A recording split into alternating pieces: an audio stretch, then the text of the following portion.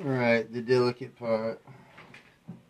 This is where I can just completely uh, have a major catastrophe. I'm hoping that don't happen.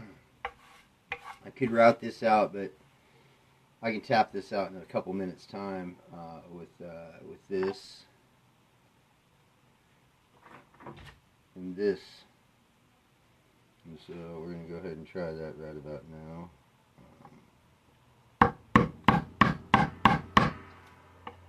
Just run that line. It's already cut down to the depth I want it, so it's just a matter of chipping it out now. And so I got to reposition the camera. I'm gonna sit down with this.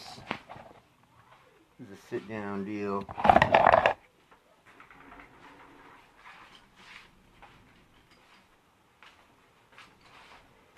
Wait. I always gotta relax a little bit. Sunday. Got that big hard day of work tomorrow. Oh yeah, that's right. I work every fucking day. Uh, let's see here.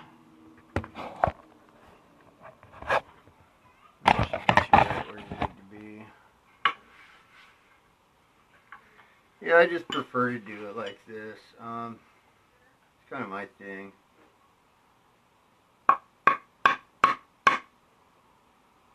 It's pretty cool when it happens too. I, I shave a little shy so I can come down into where I want it to be because the pocket, this is the trick right here. This is, uh,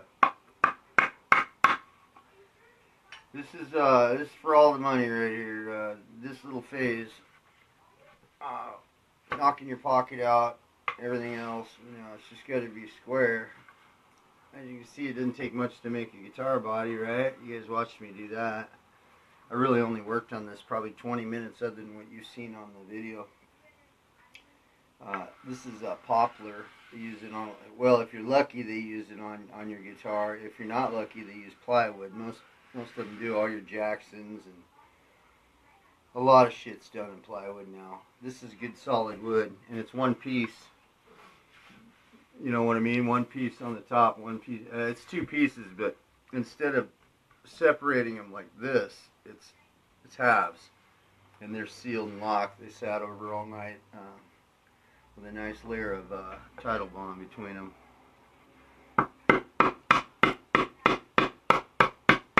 Anyways, you just kind of this thing's a really cool tool here they got.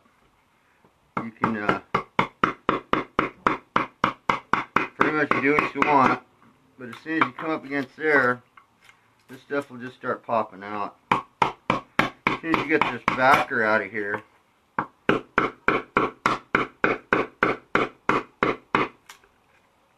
the truth be known, I, I just love doing it, man.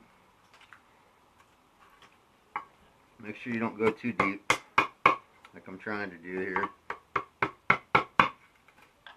But, uh, I got the best router you can get, you know, as far as palm routers go. I got a nice DeWalt that would do this probably no problem, but have to set the jig up.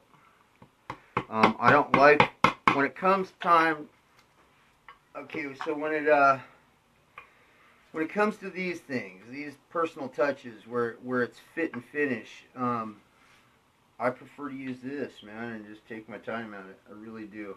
And, uh, and I'm not alone. A lot of people do it, and I didn't know it. I, I struggled with, with, uh, you know, setting up jigs and everything when I first got started because uh, those are hard, man. You know, making a jig that's, you know, got to be precise because you're you're making a tight pocket. When I'm done with this, I should knock on wood. When I'm done with this, I should be able to get that neck in there so fucking tight that I don't need to bolt it to hold the weight of this body up. And so it should just hold the weight of the body. And it's a heavy son of a bitch. But if the pocket's done right, it'll be that tight. And if it's not, then you, uh, yeah, you'll never know. I'll never tell you. I probably won't, uh, now I've done a few of these and I've had a loose pocket or two. I mean, you can fix them. It's not a big deal.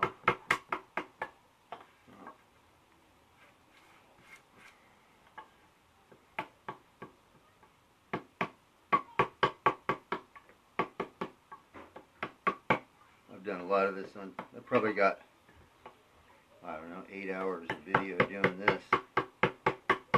If you're new and you haven't, and you just started watching my videos, uh, I've probably got a, I don't know, you probably run a week-long marathon with them.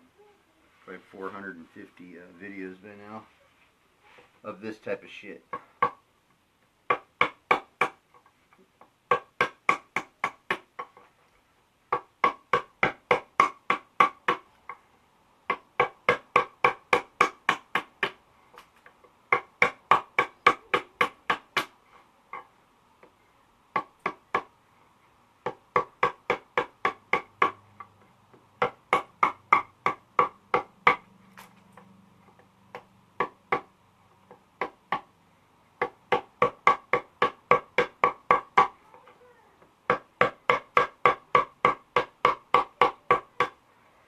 This bass is a square body, but it's by no means an easy guitar to do. Um, it has to look like a whiskey bottle when I'm done. And so that kind of takes up for all the little curvatures I would have normally carved out of a normal guitar. Um, yeah, this is a far from an easy job. Now the original one has, uh, it's, it's got, it's kind of headless. Um, all the tuners down here, we're not doing that. This is going to be basically a PJ bass. It's going to have a, um, a precision bass pickup in it and a jazz bass pickup. And, uh, and those pickups, in a perfect world, you won't even see them because they got to be somewhere mixed into the uh, logo to where it's, they're subtle.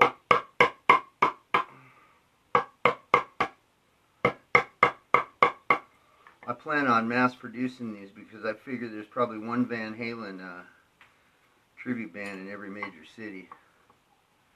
And so once I get uh, Harry's done, I got another stack of this wood that we're going to start whipping them out. And other ones like uh, the uh, Lemmy bass. I'm going to start. I'm going to do the carved base on the Lemmy because if you've been following me since the beginning, you know I do some carving. And his is pretty simple. It's not no real hard patterns. Kind of hippy dippy design.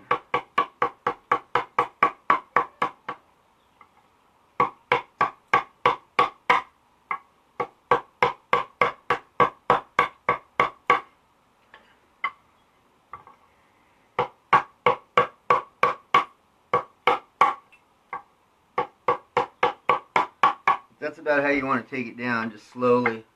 You know, I'm not going to make you hang out through the whole thing. It'd take a while, but I just wanted to get a little video on there. Hey, thanks for watching. I'll post you on the next uh, event.